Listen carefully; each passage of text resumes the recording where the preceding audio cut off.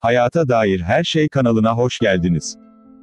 Bugünkü videomuzda COVID-19 test sonucu pozitif çıkanlar ne yapmalı onu anlatacağım. Test sonucu pozitif çıkan kişiler evlerinde ve durumları stabil ise kendilerini karantinaya alarak Sağlık Bakanlığı'na durumu bildirmeli ve kendilerine verilen ilaçları düzenli olarak kullanmalı. Durumu evde tedaviye mümkün olmayan hastalar ise yine ilgili sağlık kuruluşuna giderek ya da Sağlık Bakanlığı'na haber vererek hastanede tedavilerine devam etmeli. İlaçları kullanırken 14 günlük süre büyük önem arz ediyor. Bu nedenle vaka ilaçları düzenli olarak kullanmalı, beslenmesine dikkat etmeli ve kendisini karantina altına almalı. Sağlık Bakanlığı'nın evde COVID-19 tedavisi ile ilgili önerileri ise şöyle. Eve ziyaretçi kabul etmemelisiniz.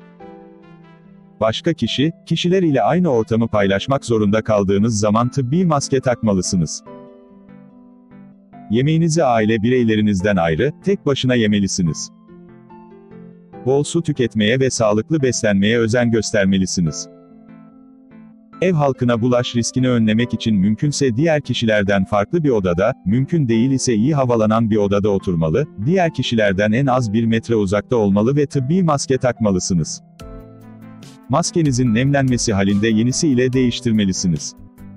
Özellikle evde yaşayan 60 yaş üstünde ve veya COVID-19'un ağır seyredebileceği risk faktörü olan bireyler varsa mümkünse aynı evde bulunmamalı ya da temas riskini en aza indirilmelisiniz.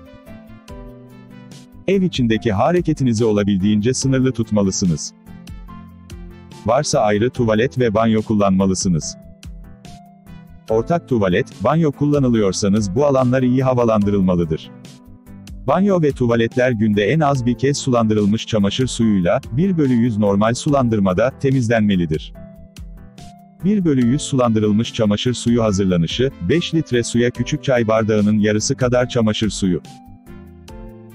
Öksürme veya hapşırma sırasında bir mendille, tercihen tek kullanımlık kağıt mendille, ağzınızı kapatmalı, kullanılmış mendillerinizi ağzı kapalı naylon poşetlere koymalı, ikinci bir naylon poşete koyarak atmalı ve ellerinizi sık yıkamalısınız.